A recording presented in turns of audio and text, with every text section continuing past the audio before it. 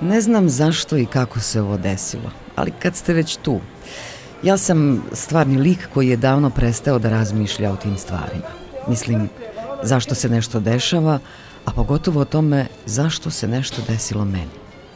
Istina, bilo je trenutaka u mojoj ne tako davnoj prošlosti u kojima sam se, malo je reći, grizla zbog takvih stvari. Ali kome se od vas nisu dešavale takve stvari? U ostalom, stručnjaci to pripisuju adolescentskoj dobi. Godinama sve dođe na svoje. Čovjek postaje svjesniji svog postojanja, trenutka u kome živi nekako lakše podnosi ono što mu sudbina pakuje. Filozofiram. Proljeće je pa valjda zato. Budi se sve u prirodi, pa valjda i mozak. Sve se čini mnogo ljepšim. Život s proljeća ponovo dobija smisao. Sve se čini potpuno drugačijim. Miriše. Zvukovi su jasniji, ima ih mnogo više. Ljudi su boljeg raspoloženja i mnogo se više osmijehuju. Osmijeh je predigra za smijeh, ali se ne mora nužno i u svakom slučaju pretvoriti u njega.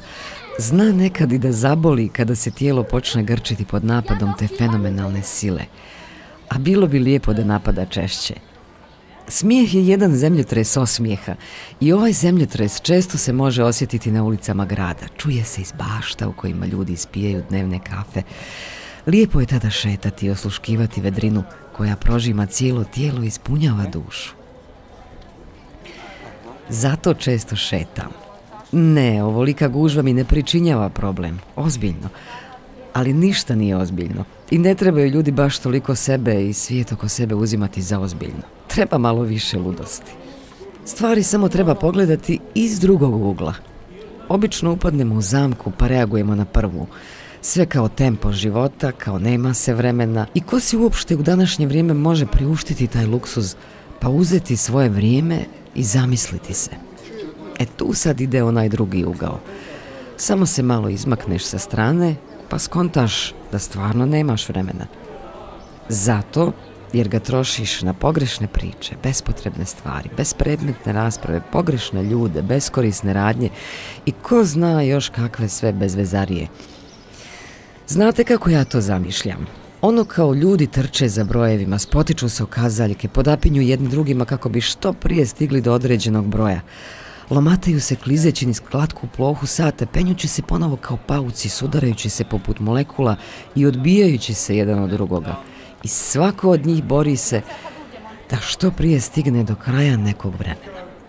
Neki vise na rubovima kazaljki kao sa jarbola broda koji tone. S tom razlikom što će brod koji potone brzo, sasvim izvjesno stati na dnu. Kazaljke neće. Vrijeme nema dna. Kažu da ima kraj vremena. A nema. Niko ne zna kako izgleda, jer ga nikad nije bilo. Kazaljke bi mogle stati jedino u slučaju da ljudi u paničnoj brzini pregaze vrijeme. Mislim, ako si dozvolite malo vremena da razmislite, složit ćete se sa mnom da u životu i nije sve tako crno kao što izgleda.